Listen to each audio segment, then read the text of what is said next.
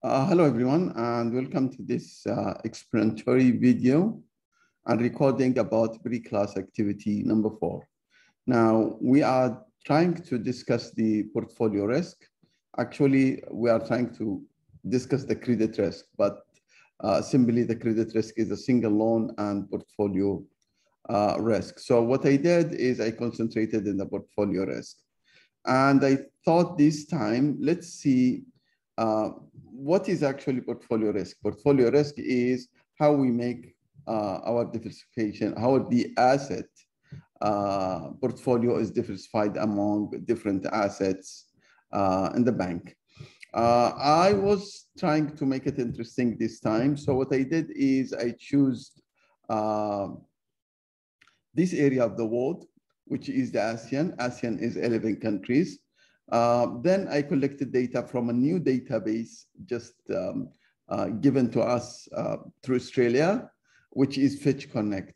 And Fitch Connect, I cannot take the 11 countries in the ASEAN. I take the most important maybe or the most uh, common countries. So I take um, uh, Development Bank of Singapore, which is the biggest bank in Singapore. Uh, and they take also the biggest bank in uh, biggest private banks here in and uh, Malaysia, which is public bank, and I take Bank Rakyat, which is the biggest bank in um, Indonesia. I didn't take the other countries. And what I did is actually trying to see, so the data coming from the database is actually, uh, if you let me share,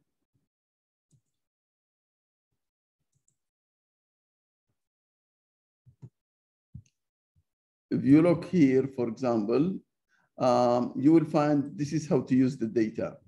So uh, in the data, they will give you a disclaimer. This is the Fitch and the key financials and the balance sheet.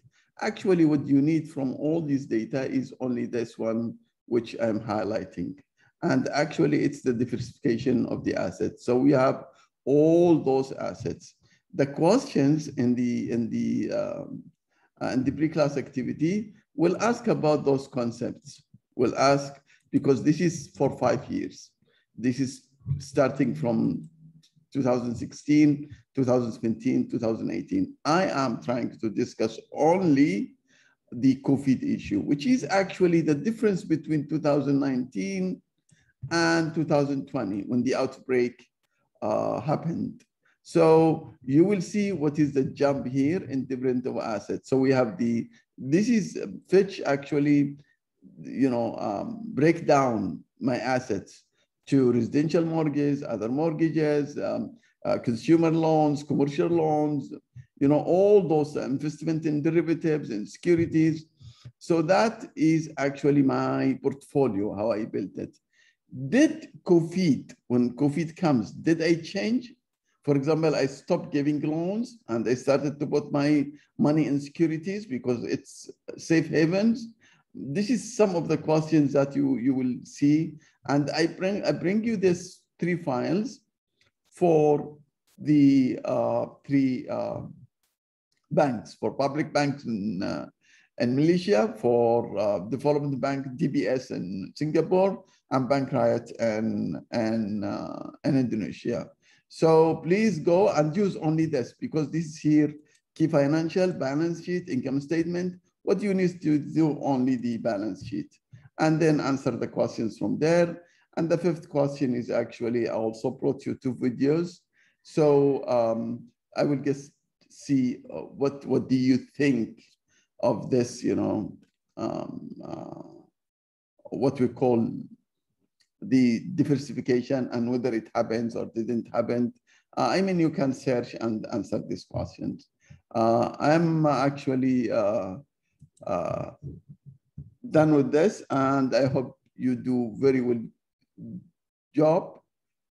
And I will receive it only on next Sunday. I uploaded last night, so you will have your eight days. So you can work at the next weekend or during this you know, week and finish it. Um, um, I think um, please see how the industry is working. This is a very, very recent issues. And actually, I, um, you know, I struggled to get you this data and to, you know, to, to bring this, um, to think about this topic. It's not a struggle. It's just a nice thing to share very recent things. Thank you very much and good luck.